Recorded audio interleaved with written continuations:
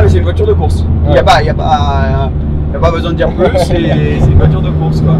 Oh, les sensations Oh Moi je trouve que c'est très bien hein, pour 3 heures de route, franchement. Oh là là Bon, la voici de l'extérieur d'Alara Stradal, juste en dessous de 400 chevaux si jamais tu te demandais combien de puissance elle avait. Ce qui est très drôle par contre, c'est comment on rentre dedans. Alors comme tu peux voir, il y a juste cette section là qui s'ouvre parce que le pare-brise et les portes, si tu en as envie, tu peux les enlever.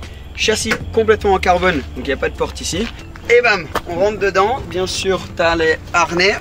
Et si tu viens voir, c'est une vraie voiture de course. Le volant, tu as vu, tu as les clignots sur le volant, euh, tu as tout, tu as tes phares, enfin tout est contrôlé ici, comme dans une voiture de Formule 1.